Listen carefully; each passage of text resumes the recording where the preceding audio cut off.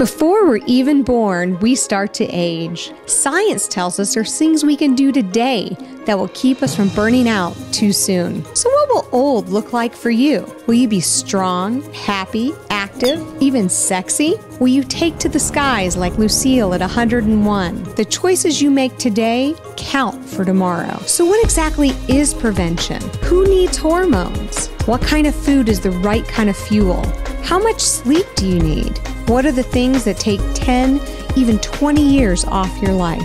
It's time to make good choices, the right choices. It's time to age to perfection.